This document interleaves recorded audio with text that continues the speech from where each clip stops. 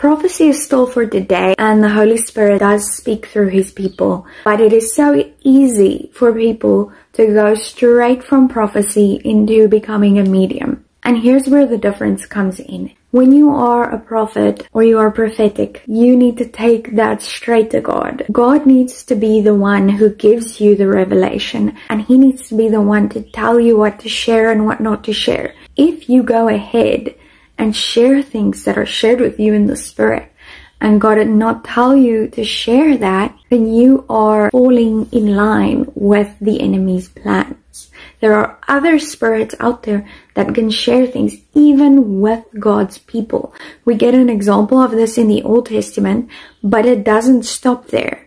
We even hear that in the end days that deception will increase, meaning more of these spirits. So if you are prophetic, if you get dreams from God, be careful of this one.